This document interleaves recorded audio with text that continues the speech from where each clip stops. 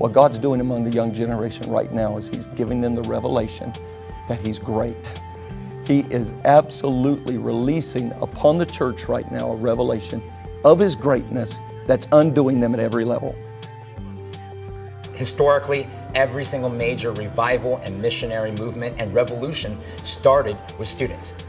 Teenagers, university students, whether it's Marxism, whether it's communism, whether it was the student missionary movement, whether it was the Jesus People movement, whether it was the Welsh revival, even to where we are today now, it all started with young people. I think where the church has gone wrong historically is we've looked at young people and said they're the church of tomorrow. Totally wrong. They are the church of today. Wherever you are, God is raising up a generation that, you know, they're nameless, they're faceless, they don't care about that.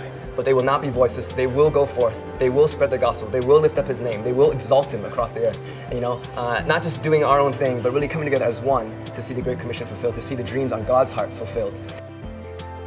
The exciting thing about the body of Christ is that it has many expressions. And one of the things that I'm very um, excited to see is the energy of the younger generation.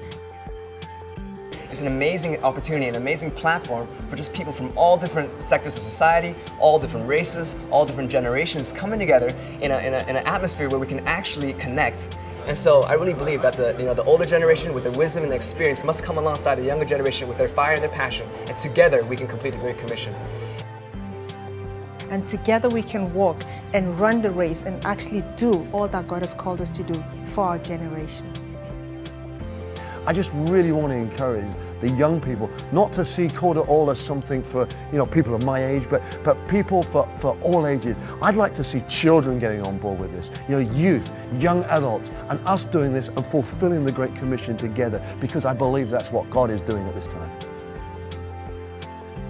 He's coming soon, and God the Father is releasing the revelation of Jesus Christ to undo the church in love to give Him everything.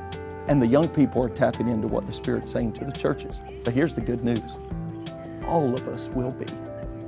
Generations, old and young alike, are going to go for Him. It's not exclusively young, it's exclusively Jesus, and the young just happen to be hearing it.